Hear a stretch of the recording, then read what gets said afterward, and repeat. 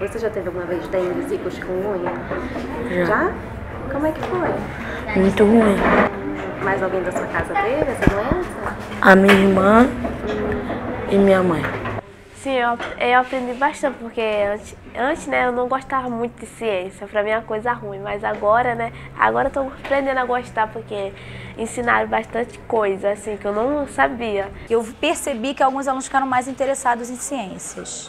Né? Alunos que não davam muita atenção às aulas passaram a dar mais atenção e até a perguntar mais assim, se vão ter os exper- experimentos é, parecidos. Ah, professora, esse conteúdo dá pra gente fazer um experimento? A gente pode tentar fazer algo diferente? No decorrer da atividade, eles já começaram a, a ter um olhar diferenciado para o ambiente né, em si, em relação às formas de prevenção, ao monitoramento dos po- possíveis criadouros né, no, no próprio bairro. Eles relatavam isso para a gente durante os encontros né, da atividade.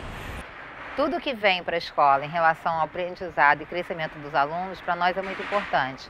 Eles vivem, a maioria, em áreas de muito risco, né? Porque os nossos alunos, a maioria são do Piscinão de Ramos, onde tem vários focos, a gente sabe disso, e eles têm que ficar alerta para o que está acontecendo.